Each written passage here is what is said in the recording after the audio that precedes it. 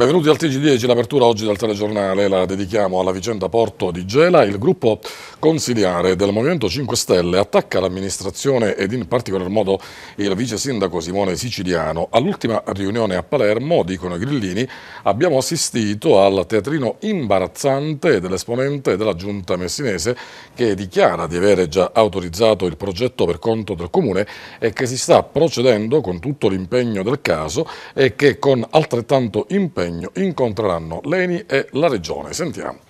Una politica che non ha saputo garantire uno sviluppo economico diversificato ed equo per tutti, sempre e solo legata all'incerto sviluppo del comparto petrolifero. Il gruppo consigliare del Movimento 5 Stelle di Gela non ci sta e dice la sua in merito alla vicenda Porto, contestando anche una dichiarazione del vice sindaco Simone Siciliano. La democrazia partecipata va bene, ma fino ad un certo punto. La conferenza del 9 maggio scorso ha fatto registrare un'assenza importante.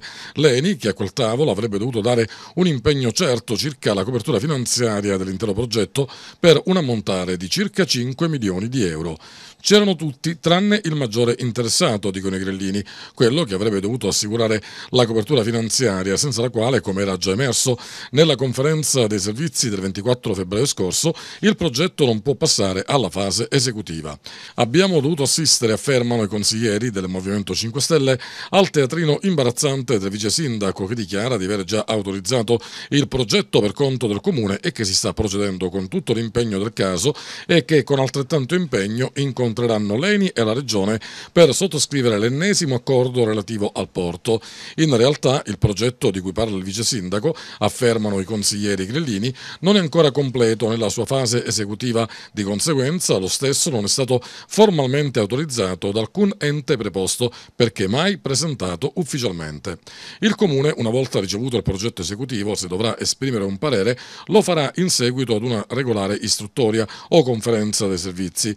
Sono trascorsi inutilmente due mesi e mezzo, non tenendo conto sia del comparto pesca, oramai alla fame, sia dei requisiti minimi di sicurezza che la Capitaneria di Porto dovrebbe garantire in caso di incidenti negli impianti offshore della stessa Eni.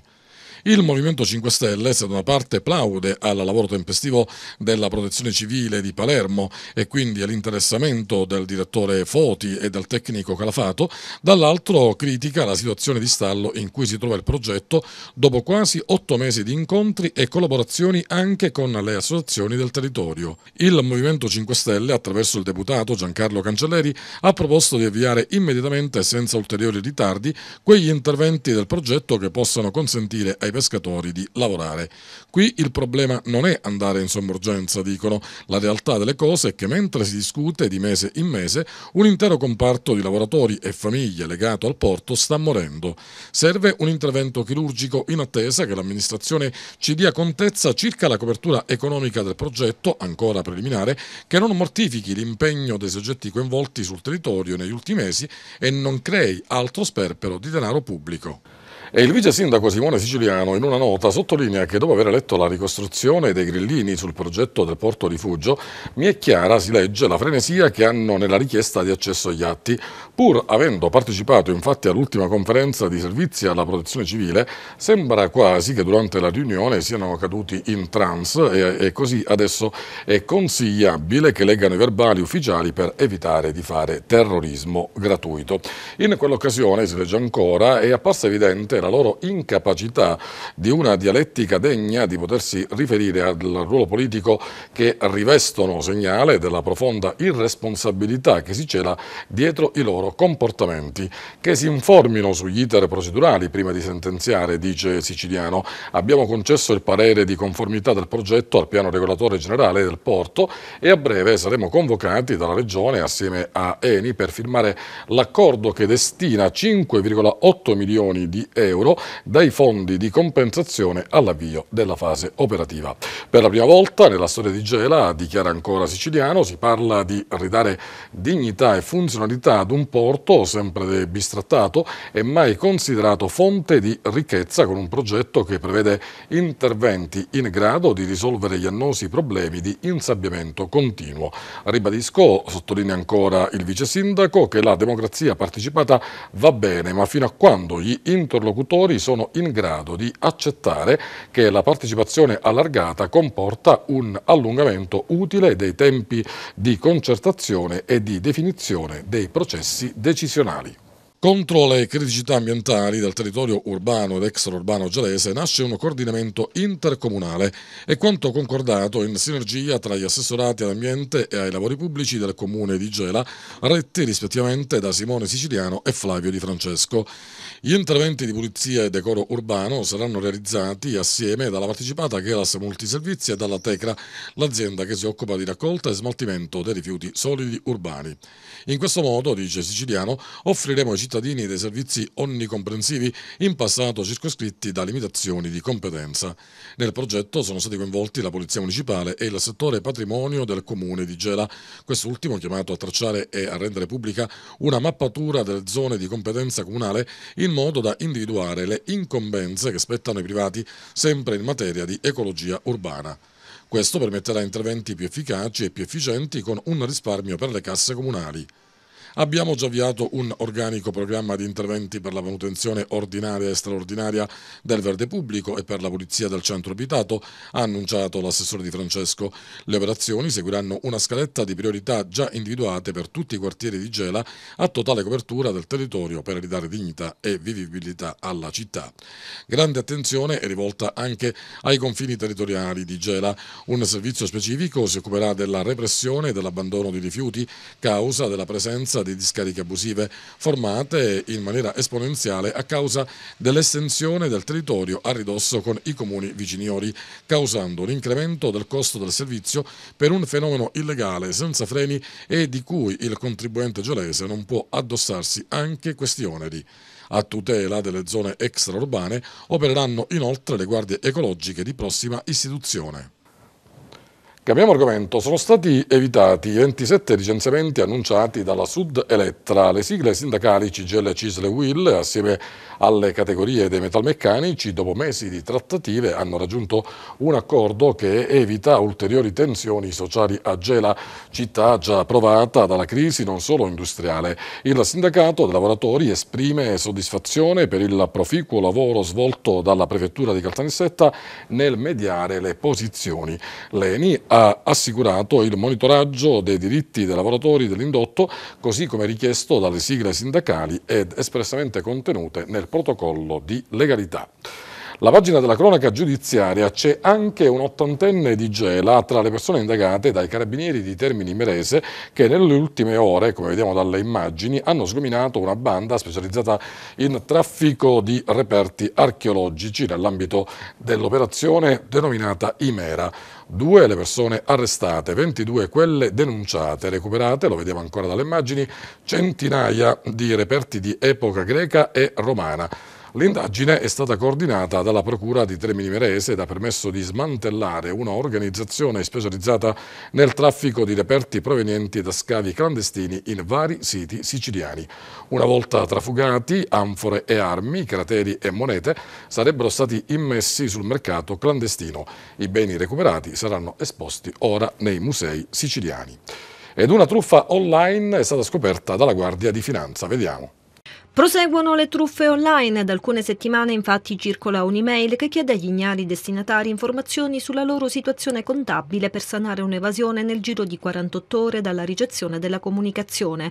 Un'email inviata dall'indirizzo di posta elettronica gdf.gov.it chiocciolaminister.com che solo apparentemente riconducibile alla Guardia di Finanza. A lanciare l'allarme sulla nuova frode telematica sono le stesse fiamme gialle che invitano a non aprire l'email, a cestinarla e a segnalare l'accaduto al 117. Eh, confermo che si tratta di una truffa perché eh, l'indirizzo da cui provengono queste richieste eh, è un indirizzo indirizzo che eh, non appartiene alla Guardia di Finanza, del resto la Guardia di Finanza comunica solo attraverso posta certificata. E, mm, eh, cosa si chiede con questa email che è una tipica tecnica eh, di phishing? Si chiede tutta una serie di documentazioni contabili, tra l'altro da inviare entro 48 ore. Assolutamente eh, non bisogna eh, inviare alcunché, bisogna cancellare l'email senza eh, aprirla e se nel malaugurata ipotesi in cui qualcuno eh, invece abbia aderito a questo invito, eh, deve tempestivamente comunicarlo o al più vicino comando della Guardia di Finanza o utilizzando il numero 117. Noi comunichiamo o attraverso oh, delle, delle, lettere eh, scritte, mandate di solitamente con delle pattuglie, quindi eh, mm, recapitate a mano, se no con raccomandato con ricevuto di ritorno, ma laddove si utilizzi eh, la posta elettronica viene esclusivamente utilizzata la posta elettronica certificata. Indire un incontro col Presidente del Consiglio Comunale di Gela al fine di prendere immediati contatti con i rispettivi Presidenti dei Consigli delle comunità interessate da quello che viene definito uno scempio e con tutti i capigruppo consigliari. Tutto ciò al fine di ridare quella centralità che proprio la legge 15 del 2015 ha voluto attribuire ai Consigli Comunali e alle comunità. E quanto chiede il Comitato Gelensis Populus in merito alla vicenda dei liberi consorzi e delle città metropolitane dopo che tra modifiche ed aggiustamenti emendamenti vari, la riforma si è confermata totalmente alla legge nazionale del Rio.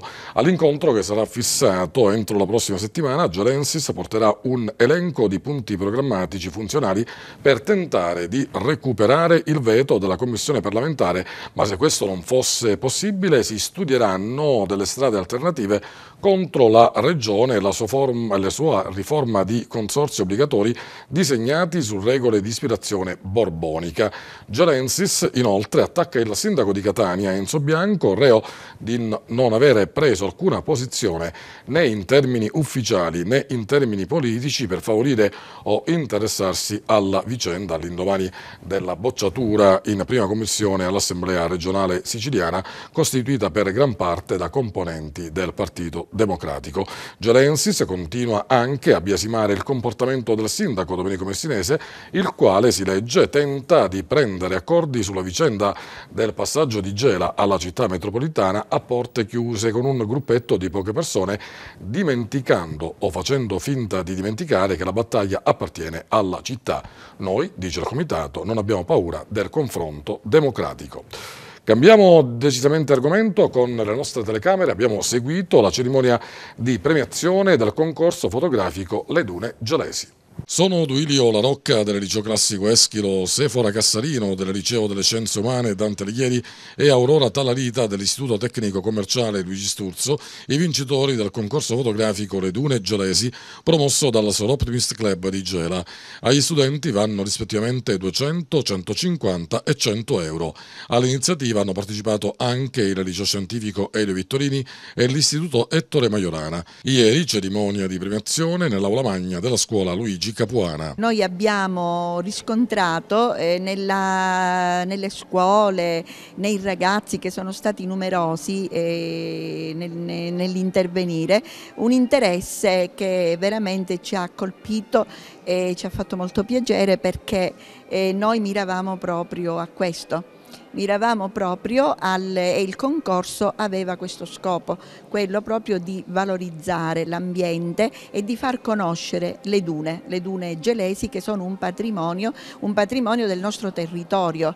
E quindi eh, questa cosa ci ha portato, ci ha eh, veramente portato a, a migliorare e a, a, a, creare, a fare questo concorso. Il dirigente scolastico Cetta Mongelli. La nostra mission da anni è mm, conoscere per valorizzare, la scuola per il territorio e quindi aprirsi, gela archeologica, storica ma anche ambientalista, anche paesaggistica quindi il concorso Le Dune Gelesi per noi era proprio in, assolutamente inerente al nostro PAF e quindi quando il Sora Optimist Club di Gela presieduto da Maria Grazia Falconeri, di cui peraltro mi onoro di far parte, eh, mi ha chiesto la location per noi, tutta la scuola, tutto il personale docente è stata cosa graditissima, anzi siamo onorati di ospitarlo. All'iniziativa di ieri, tra gli altri, era presente anche Francesco Vacirca, presidente dell'Associazione Leopoldia, Agricoltura, Biodiversità e Rigenerazione del Territorio. Le dune eh, sono valorizzate e questo tipo di attività di oggi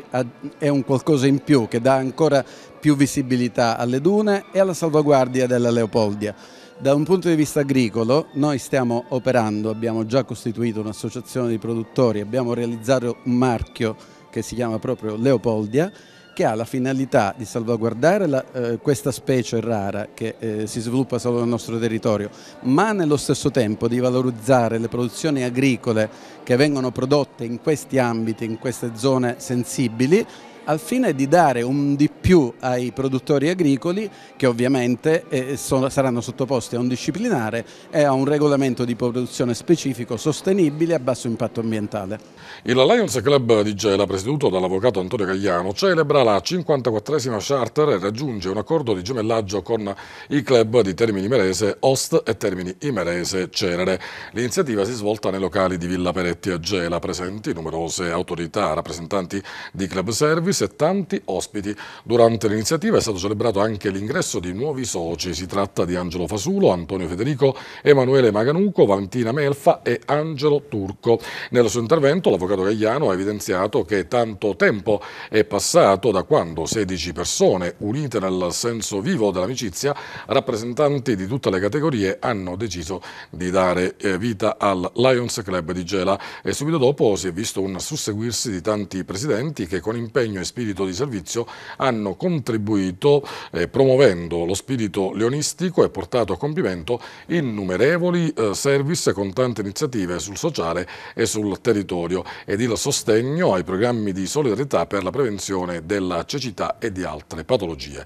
Il Presidente ha poi sottolineato l'importanza di perseguire nello spirito leonistico dando risalto sia al service distrettuale Sicilia, Isola, Frammento e Realtà che a quello nazionale incentrato concentrato su Expo 2015, consegnando allo stand Piazzetta Sicilia un video prodotto dalla Proloco sulle eccellenze storiche, paesaggistiche, oltre che culinarie personificate da Archestrato da Gela. E inoltre il corso, in corso il progetto Martina è volto a sensibilizzare i più giovani ad uno stile di vita più sano, atto a prevenire le patologie tumorali.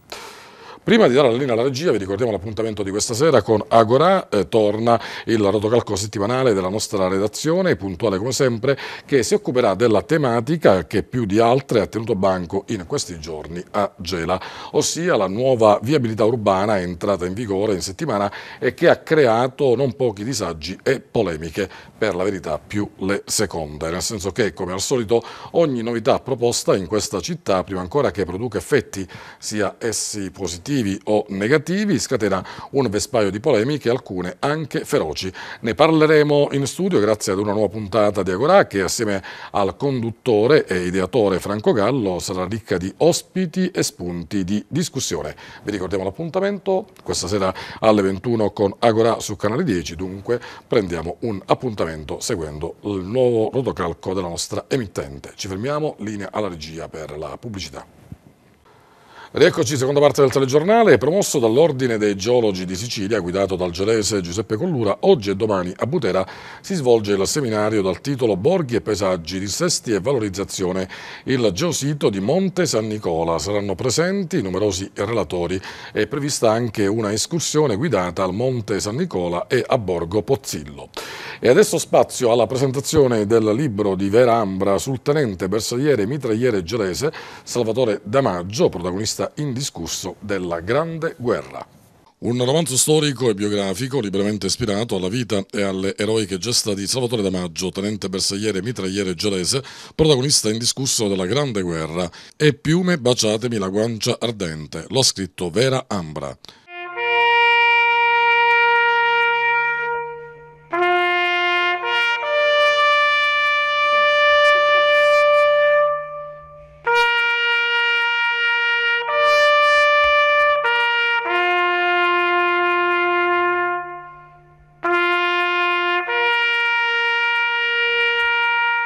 Il libro ha ottenuto il logo ufficiale per il centenario della Prima Guerra Mondiale concesso dalla struttura di missione per gli anniversari di interesse nazionale della Presidenza del Consiglio dei Ministri ed anche il patrocinio morale dell'Associazione Nazionale del Fante. Attraversare quel periodo non è stato per nulla facile, e, ma soprattutto perché si trattava di ragazzetti, ragazzetti strappati alle famiglie e buttati in posti impensabili, invivibili e Salvatore ha sviluppato la sua azione eroica in un posto difficilissimo, il più difficile di tutto il fronte eh, della guerra, a 2200 metri d'altezza su, sul Dende italiano, ha difeso il Dende italiano e da solo con sette soldati è riuscito a fermare l'avanzata del più grande esercito del mondo organizzato e mm, nei tre giorni che precedettero la battaglia morirono 3.360 soldati italiani. La presentazione del libro si è svolta nei locali del Museo archeologico regionale di Gela. I lavori sono stati coordinati dalla giornalista Fabiola Polara alla presenza delle autorità cittadine e dei presidenti delle associazioni Rotary Club, FIDAPA, Lions Club del Golfo, Kivanis, Proloco, Archeo Club e Lega Navale. È una storia che non è semplicemente la storia di un soldato, è la storia di un uomo che è un medico, è anche un soldato ed è combattuto fra queste due, diciamo, eh, queste due alternative, volendo quasi esclusive, nel senso che il soldato toglie la vita, il medico le salva, quindi è anche un po' combattuto da questo punto di vista. E rappresentare invece un eroe attraverso dei disegni, che esperienza è stata? Attraverso il disegno esprimere, spero, le mie potenzialità e anch'io mi sono immerso nella storia perché ho dovuto fare prima di tutto una ricerca eh, anche di immagini, quindi immagini crude, immagini storiche e ovviamente ti immedesimi nel personaggio. L'accoglienza è stata curata dai docenti e dagli studenti dell'Istituto Alberghiero retto da Grazio Di Bartolo il museo racconta delle storie, racconta delle storie antiche ma sono, questa è l'occasione per una storia un po' più moderna. E si terrà domani alle 18.30 nell'auditorium del liceo classico Eschilo di Gela la presentazione del libro di Silvia Scolla Al valico dell'orizzonte. L'iniziativa è stata promossa dall'Unitre presieduta da Angela Scaglione. Sabato 21 maggio invece alle 18.30 nei locali della libreria Mondadori di via Marconi a Gela sarà presente Simona Loiacono, finalista del premio Strega 2016. Presenterà le streghe di Lenza Vacche. E continuano le iniziative inserite nel calendario La Primavera dell'Arte, giunta alla quarta edizione, promosse dal Gruppo Archeologico d'Italia Gelo e Trischelion, in collaborazione con altre associazioni presenti sul territorio. Oggi alle 19 nei locali del museo è prevista una mostra archeologica con reperti inediti. Sabato 21 maggio, invece alle 21, alle mura Timo Leontè, chiusura con la notte europea dei musei Le Mura di Notte. Rivedere le posizioni organizzative e contenere il salario accessorio riconosciuto alle stesse, in modo da ridurre la spesa e permettere così il pagamento degli stipendi di tutti i dipendenti dell'ex provincia di Caltanissetta, oltre a garantire la possibilità di proseguire la loro attività anche ai lavoratori della società in-house Caltanissetta Service. Questa è la proposta del segretario generale della funzione pubblica Gianfranco Di Maria a seguito della grave situazione finanziaria che l'ex provincia sta affrontando e ha presa la notizia nel corso dell'assemblea con gli assessori regionali Luisa Lanteri e Gianluca Miccichè alla presenza di tre esponenti del Parlamento siciliano, Giancarlo Cancelleri, Pino Federico e Giuseppe Arancio, del congelamento da parte del governo nazionale dei 500 milioni di euro, che ha così deciso ancora una volta di tornare a bussare alle porte dell'ente per chiedere un incontro urgente con il commissario straordinario. Le nostre richieste sono intanto di ehm, cercare di fare lavorare tutti i, i, dipendenti della provincia. In questo io eh, inserisco pure la partecipata, Caltanissetta Service, eh, che sono dei colleghi e quindi sono dei lavoratori come, come noi. Abbiamo fatto la proposta prima di eh, congelare, di eh, diminuire quelle che sono le posizioni organizzative, che sono un salario accessorio per alcuni dipendenti di notevole eh, entità.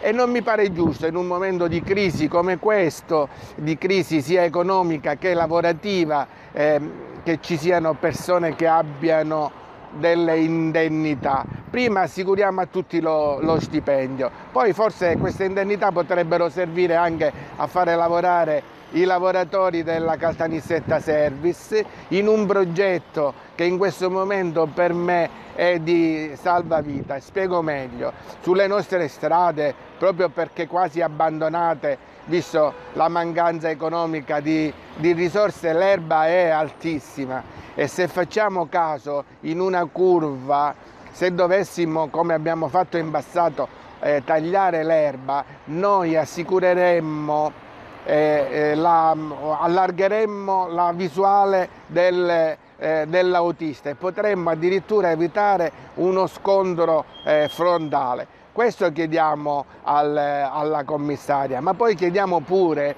di non fare come fa il governatore, di non sentire le parti sociali. Noi siamo le parti sociali, siamo il sindacato, noi rappresentiamo ancora i lavoratori oggi. È prevista domani alle 11 presso l'Aula Magna dell'Istituto Comprensivo Statale Salvatore Quasimodo di Gela, diretto da Maurizio Tedesco, lo Scratch Day, un evento organizzato in collaborazione con l'associazione Ship Lab nell'ambito delle iniziative promosse dall'Istituto per la diffusione del pensiero computazionale.